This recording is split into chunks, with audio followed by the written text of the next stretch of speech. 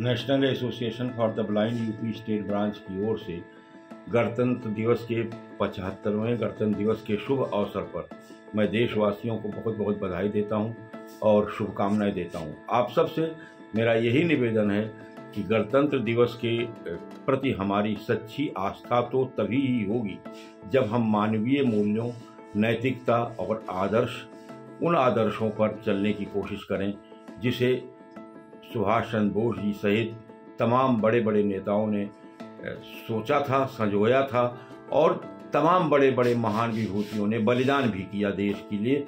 इसी गणतंत्र दिवस के लिए हम आप सबसे पुनः एक बार फिर आग्रह करते हैं कि मानवीय मूल्यों की रक्षा के लिए आप हमेशा संघर्ष रहित रहिए और संघर्ष करने के साथ साथ नैतिकता के आधार पर इंसानियत की रक्षा करने का काम करिए। हम मानते हैं कि जाति केवल एक है, इंसानियत और मानवता और मानवता की रक्षा करेंगे तो गणतंत्र दिवस के प्रति हमारी सच्ची आस्था होगी। बहुत बहुत धन्यवाद बहुत बहुत बधाई।